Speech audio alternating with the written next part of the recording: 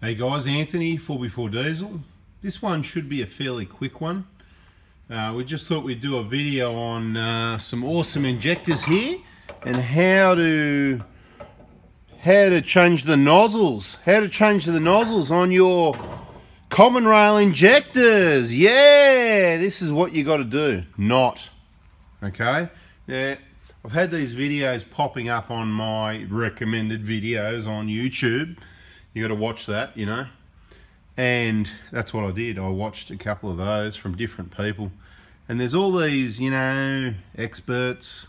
I think they just want to sell you nozzles or something.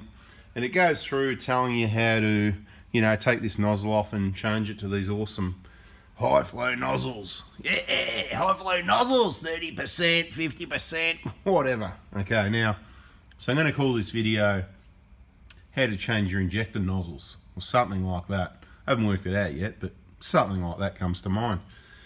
Now, don't do it, okay? So, you know, they show, you you know, you take the washer off and then you get your 14 mil and put it on there and they tell you how tight it is. They even use Stillsons on here, some of them.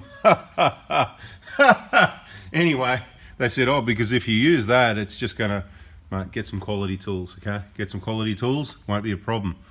But what I'll tell you is once you open this injector, you pretty well ruined it. You can get it back together, but if you've got the machines and equipment to recalibrate them and everything and come up with new compensation codes, things like that, because you just, it's a whole game changer. Now, so we're not going to waste our time taking the washer off and undoing that. You know, we'll do that later. Yeah, there's an old injector. That's all that was, right?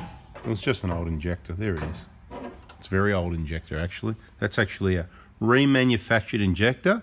So it was put to its second life after it was already dead. Dead as a doornail. Dead! Whatever a doornail is, but that was a saying that, I don't know where I picked that up many decades ago. Dead as a doornail. How dead's a doornail? anyway, right, so what's going on here? Look, you know, you just got to laugh at these videos, really. Some of the things people put on YouTube, you know. What do they do? They go and watch videos. They think that person knows what they're talking about and then they go and make their own or um, then you've got these companies that they want to sell you nozzles right? What do you reckon? Do you reckon that'd be a good idea? We've got a little four cylinder engine maybe a five cylinder whatever it might be. Or might have a v8 even right? So they're pretty well maxed out. They're just diesels. They've got turbos and awesome intake and injection systems and people want to go and put 30% nozzles on them okay? Just crazy okay? These things they're a very small part of the injector. So that's what you're taking off, right? Let's call it, okay, it's the nozzle and there's a nozzle needle. We're going to call this the cap nut. That's what we're going to call it because it's like a nut and it's sort of the cap that holds it on. So that's what we call the cap nut, right? Now, they tell you, you know, take this off and open this up. And I can tell you straight away, right, there's all carbon and stuff everywhere. It's a real mess. Things need to be cleaned properly. But anyway, meanwhile, the injector's open and they're getting you to clean this up and clean that up and telling you how clean it's got to be after they've used Stillsons to open it, which may have even bent it and deformed it. Anyway, that's another story. Don't worry about that. And then here they are and they say, whatever you do, don't take this out, you know, because taking that out, that could be detrimental. The slightest bit of debris that gets in there, uh, like, hello, hello, uh, I don't know if it matters that much about how much debris is in there compared to the whole debris situation, you know these injectors are built in an environment that's um, like not only clean but the air's clean and it's at a certain temperature even because of the clearances and stuff. And you want people that sometimes can't even be trusted to change their own oil to pull common rail injectors out strip them down change these nozzles we're going to put 30% as all and you just pop it back in there and you know that's how you just stand it up and carefully sit that in there and put that over there and they probably even give you a torque setting I don't know whether it's right but anyway don't do it okay? So this is how to change your nozzles or how not to change them the best way to change them is don't do it. Um, the injector the way it is when it's new so if you were to buy a new injector and buy some nozzles and open it up and change those hey it'll work but you've kind of just destroyed an injector. Just stick with the and this isn't a brand new injector this is a remanufactured injector okay like I said it's had two lives the second one didn't work out as well as the first funnily enough anyway right bada bing, don't do it. You got a brand new injector. What you do is you follow our procedures in the videos to put it in, do the job right the first time, take the time to make sure you know what you're doing before you do it. So look, just a short video, five minutes. There you go, five minutes. I can probably talk a little bit more. What else can I tell you? I don't know. Don't do it. Did I mention don't do it?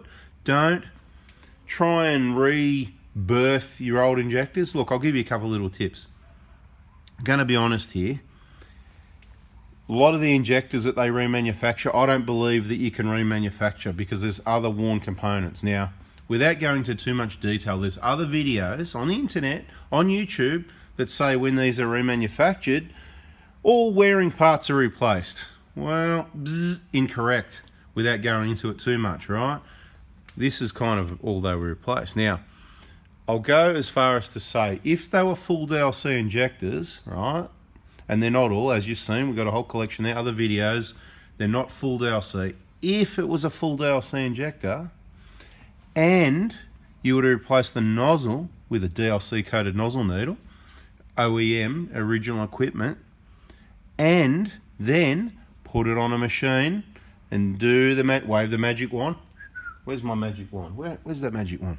Anyway, we haven't got one. So if you were to do that,